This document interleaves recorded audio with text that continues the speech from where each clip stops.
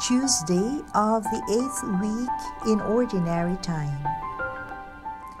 But many that are first will be last, and the last will be first. God's generosity is not conditioned by our efforts and service. There is nothing in what we do for the Lord influences His goodness to us. He is love, and He simply actuates this identity unceasingly.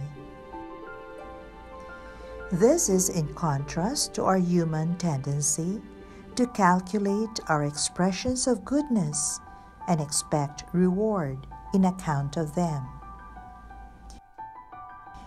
May our generosity and sacrifices be genuine expressions of the love God empowers us to also actualize.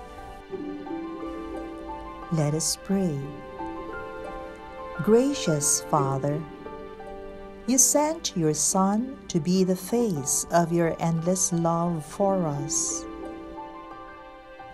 Open our hearts so that you may live in us and we love like you.